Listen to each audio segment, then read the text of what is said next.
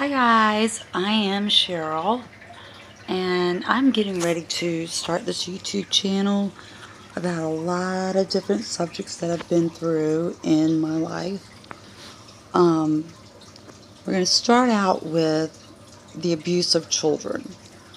I currently have a daughter that lives with her father because he's an attorney.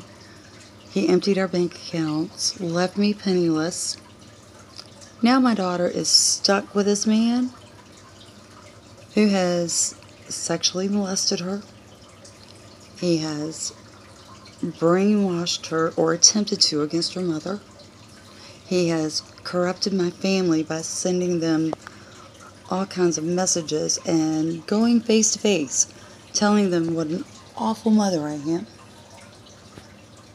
And I'm sorry if I get choked up here a little bit here, but you have to understand when you have a child involved that's going through something so traumatic and something so just monstrous that no child should ever have to go through. A parent's heart is absolutely destroyed. Mine is. I knew that he was an abusive man from probably two years after she was born until today.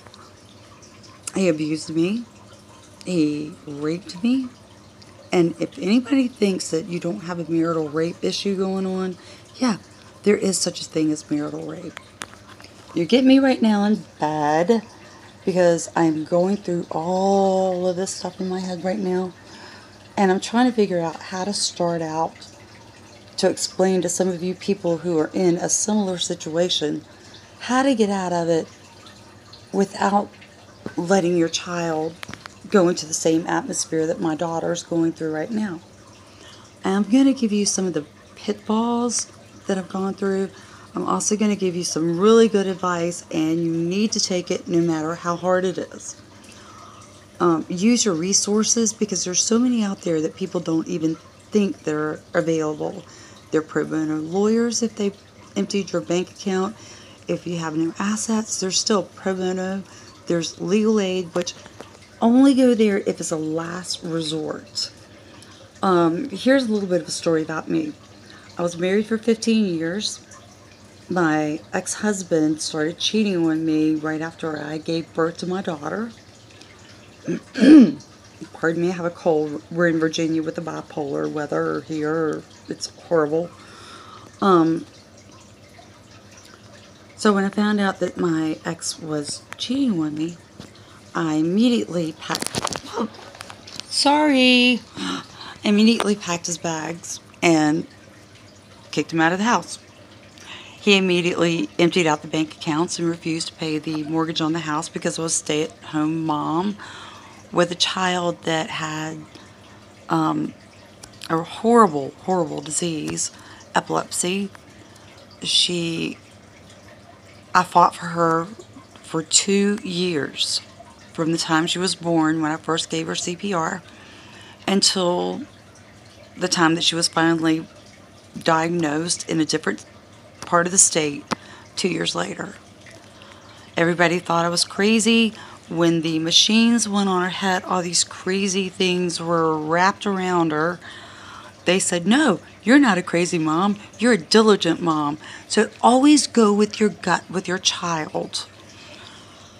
So here we get back to the whole my daughter's been through a whole lot and God bless her she's an amazing amazing child to have been through so much. She keeps her faith. We're a real very religious mom and daughter team.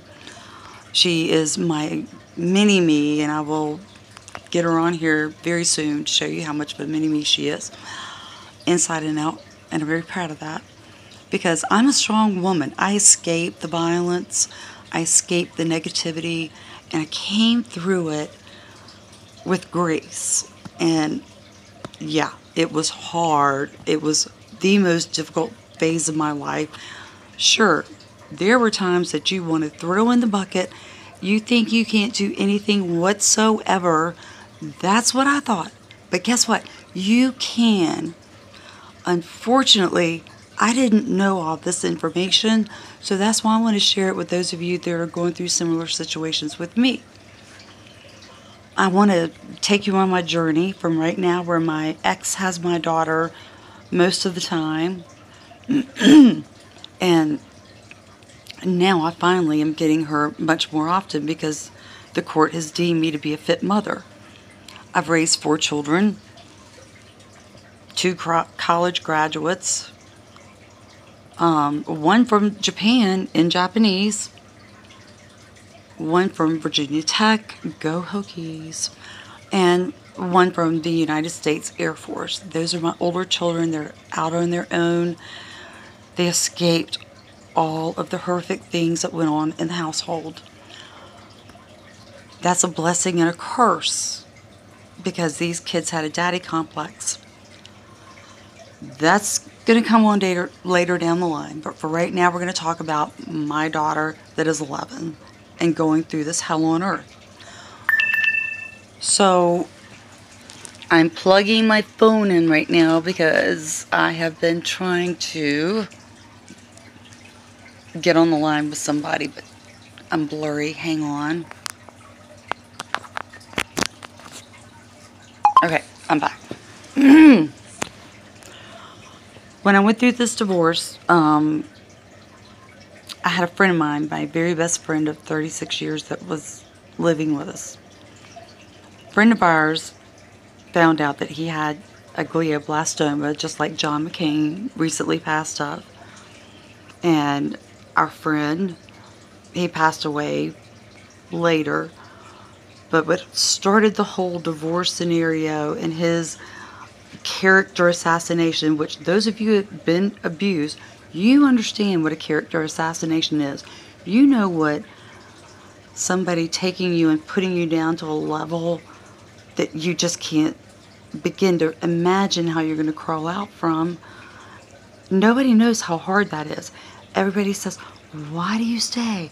Well, when they empty out your bank accounts and they character assassinate you and they make you look like a Betty Broderick, Broderick, I don't know that name, but anyway, um, yeah, you really have doubts and you have fears.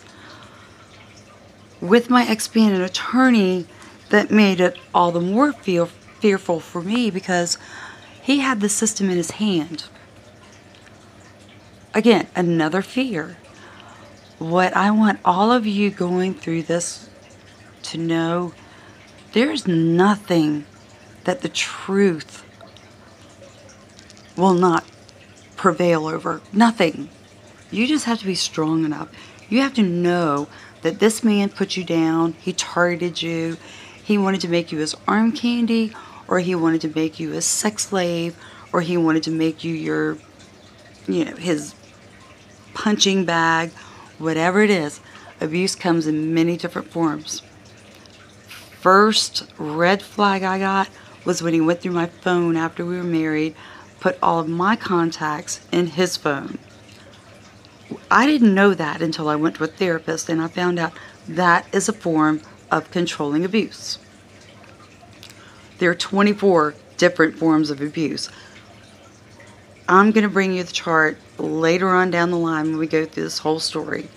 But we're going to get back to Madison and how you need to keep your child safe from your monstrous spouse guys are welcome to look at this too. It's not just a girl thing, it's a child thing. So, what I want to tell all of you is don't fall for you're never going to win because of this. You're never going to win because of that. Because you're only going to lose if you let yourself lose. I let myself lose. TV's on. Hold on. How rude don't get to know what's in them. You know you work for us, right? You don't get to yep, that's not working. Unless it's going to kill somebody. You know not working? Nope. There we go. I'm so sorry for the interruptions, but this is my first video that I'm posting about this really, really deep subject that affects so many children across this country and so many spouses across this country or domestic partners or you know, lovers it, it affects millions and millions of people every single day. And if you don't think you can become a statistic, sorry, I can't speak. You can't, you are fooling yourself.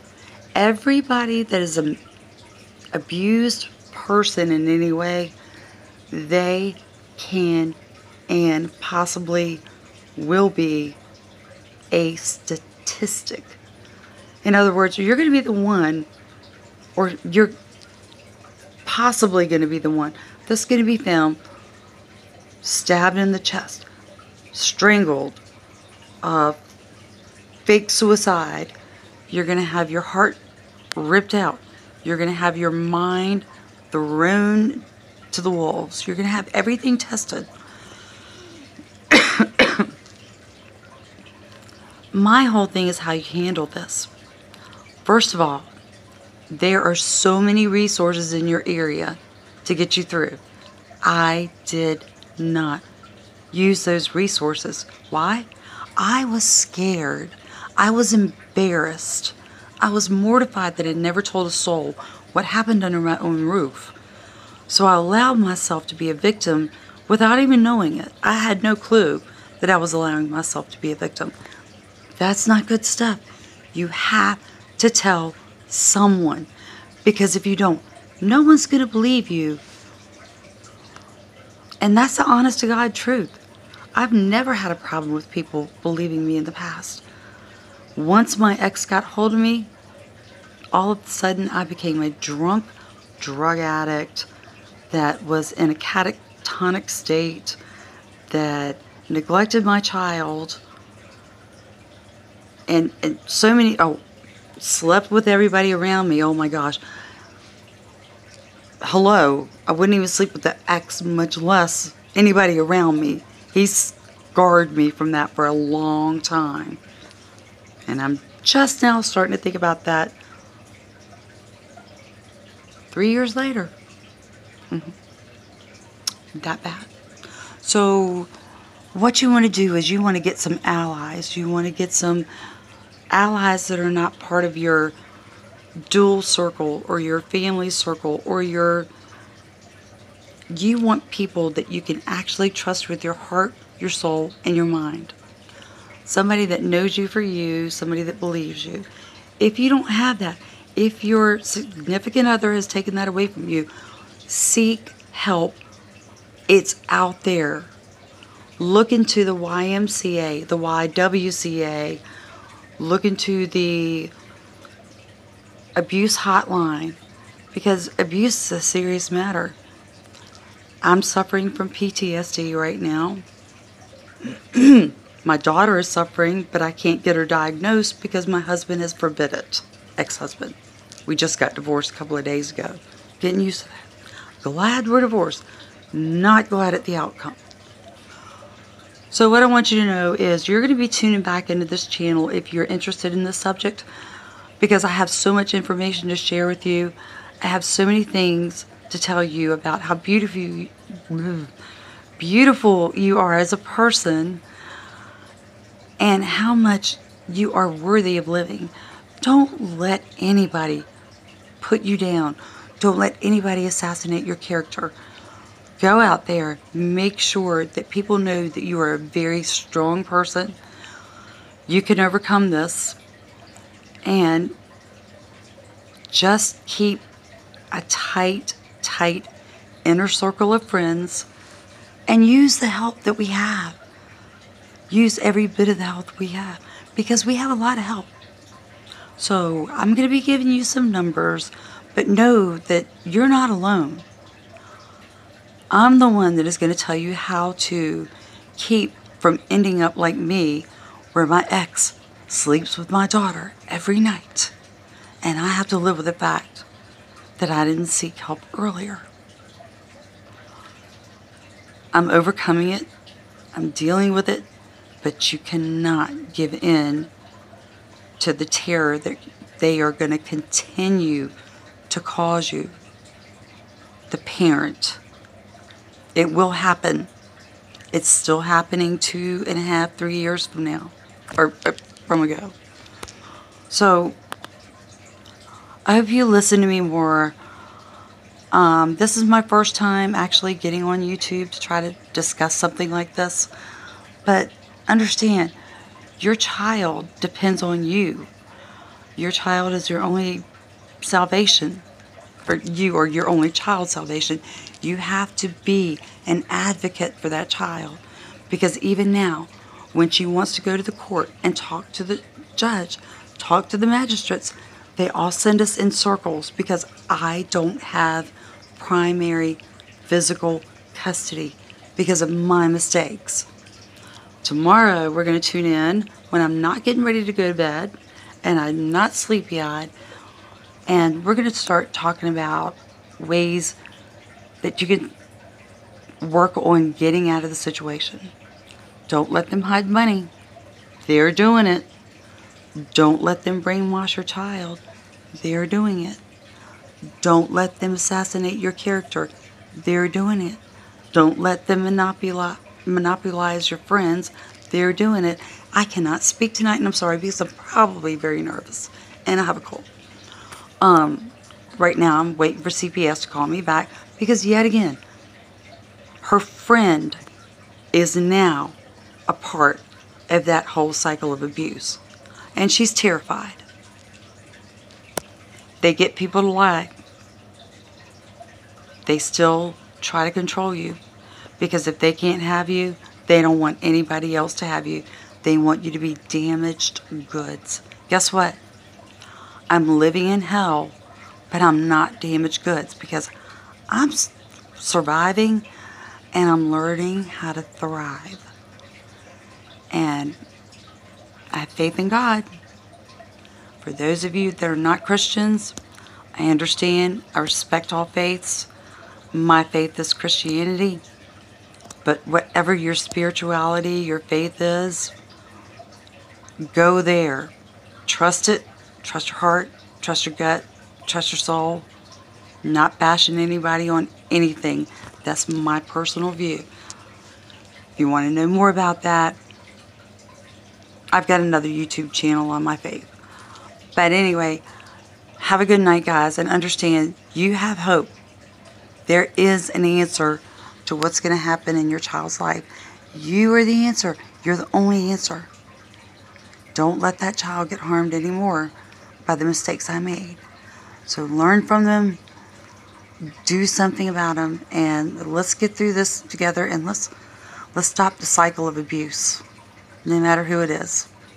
Friend, family, foe, anybody, spouse, significant other, lover, ex boyfriend, ex girlfriend, ex anybody.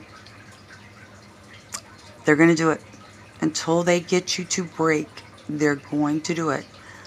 Don't break. That's when your child will lose you. I'm going to give you the confidence that you need to get. I'm going to get more comfortable right here with this nighttime face with no makeup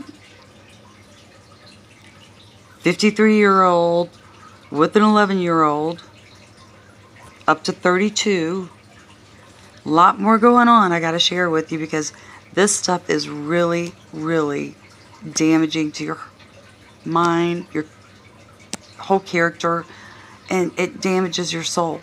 It makes you feel worthless. You're not. Know that.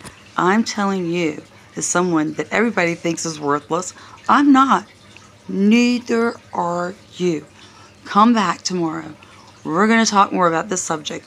If you have any questions you want answered, if there's anything that you want me to create a vlog on or whatever, send me a message. I'm here for you guys. We got more subjects to talk about, lots of them. But right now, this is the most important one that I really want to touch on. So, good night. Sleep well knowing that you have a friend here. I'm a phone call away or a video chat away. I'm here for all you guys going through the same hell I'm going through. But I want you to get out in a better position than I got out. So, Cheryl signing off. Daisy Madison is my channel to be. Right now, I think it's under my name, but the nickname is Daisy Madison. Long story wide, my daughter is going to join us during one of our sessions. And we'll go from there. So have a great night, guys. There's hope. There's faith. You're going to come a long way if you keep up with me and don't make my mistakes. Love to you all. Peace, faith, God, spirituality, love. Love you guys. Night.